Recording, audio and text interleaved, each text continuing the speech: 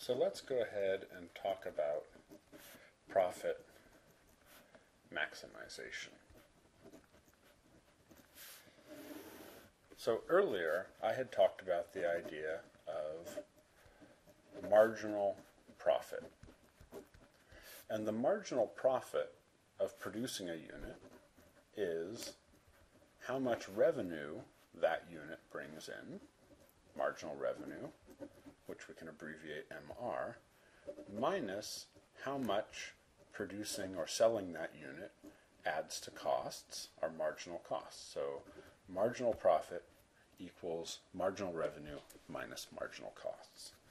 Notice that if marginal revenue is greater than marginal costs, then marginal profit is positive and the unit is profitable to produce. It causes our profits to increase.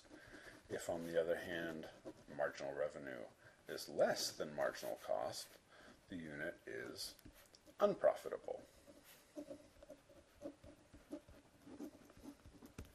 So, the rule for profit maximization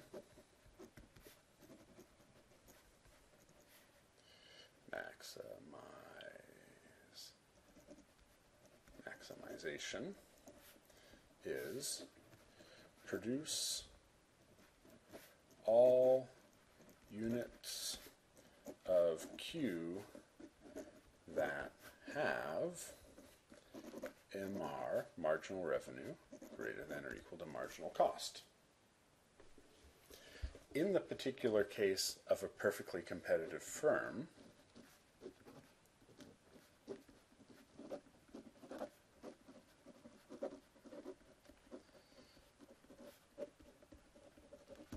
we know that marginal revenue equals the going market price because a perfectly competitive firm doesn't have to cut prices to sell more units.